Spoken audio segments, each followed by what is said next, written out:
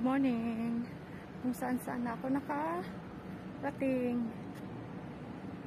Hindi ko alam kung saan banda ito. Basta dito rin to sa Shatin. Ginahanap ko yung Pinfold Park. Dito ako napadpad.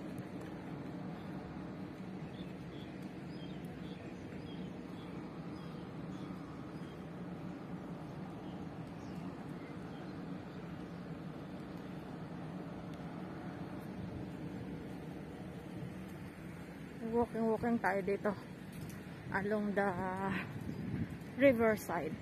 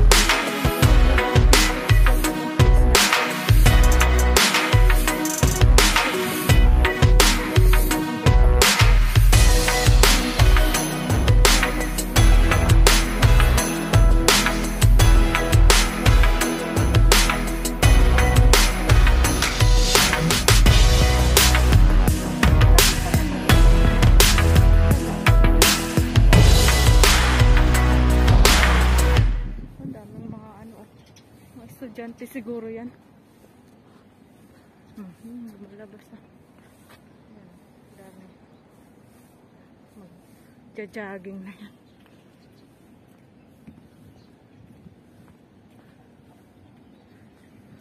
Ito naman ang matatanaw mo sa kabila. Yan. Pagitan nila river. yung ano nga ito? Yung Mon River ba ito?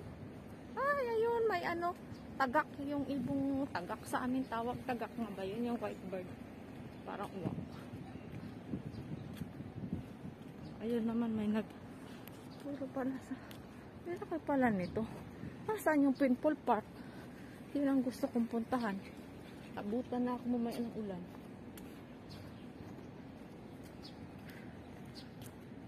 Oh, lalaki ng mga building dyan sa kabila. Pumupunta din ako minsan dyan. Diyan nag, ah, ano yung aming, ano dati, halaga. Ayun, oh, may nag, ano, practice ng, ano ba yan? Dragon boat ba yan? Ano yan? Sailing? Hindi, yung dragon boat nga. Ayan, oh. Hindi yan. Yung Nagpa-practice ng dragon boat, ano. Oh. Di ba mayroong sports na ganyan? Yung parirahan ng dragon boat tawag nila. Layo na nang nilakad ko. Doon ako kaya sa pinakadulo. Kailangan yan, good for health. Sunsunin natin kung saan yung pinfold. Saan na ba yung pinfold park?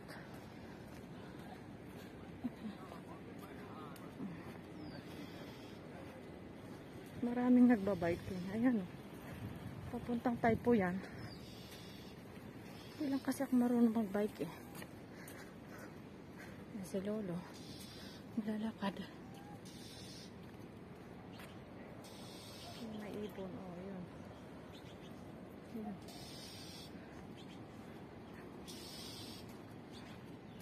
Hmm, Ano naman to? Isa na ito. Ano klaseng takbo yan? Ang, tak ang bilis maglakad ni nanay na yun nakagreen na yun. Ayun, sa dulo na yun. Yun, kanina sinusundan ko. Boy, kalayo na nang narating. O, ayan na sila. O, ayan. Ayun, ayun.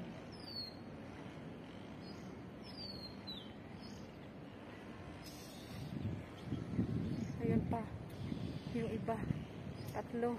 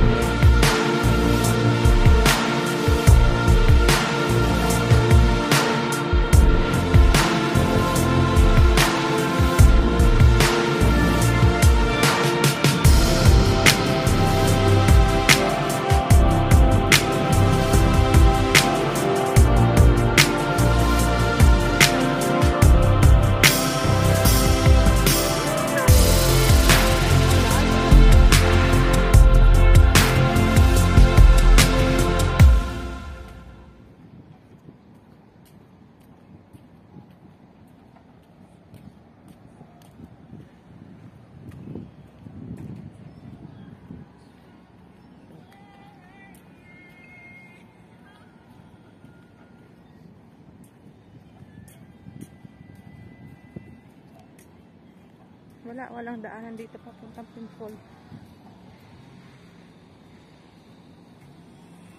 Ah.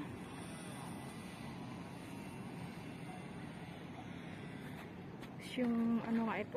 Hindi ko yung pangalan ng river na to.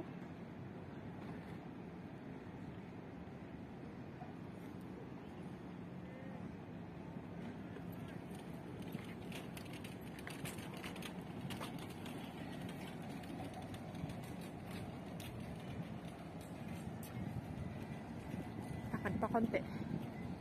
Lakad pa tayo konti. Maunsya na yun sa kabila na yun. Yung mga building na yun, maunsya na. Ah, doon kaya sa dulo. Mayroon kaya yun doon?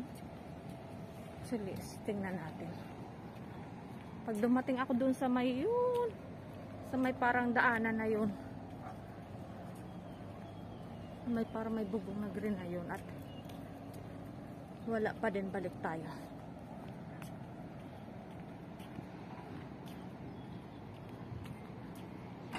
Pagdating ng bahay, ligo. Tapos kain, tapos tulog. Masarap matulog pag pagod ang katawan mo.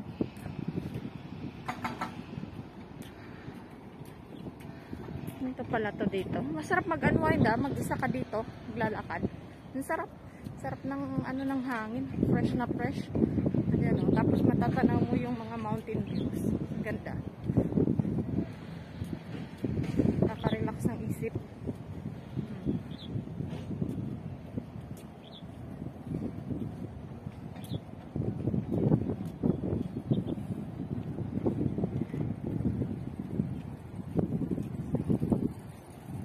Ayan yung nasa ano na yan. Race course yan. Karirahan niya ng kabayo.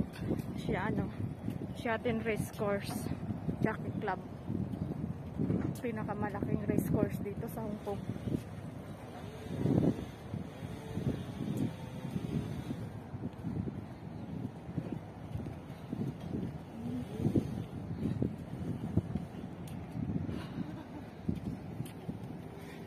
Pagod na si tatay.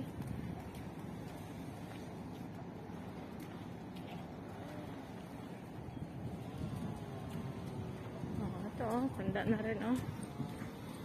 Tumatakbo pa.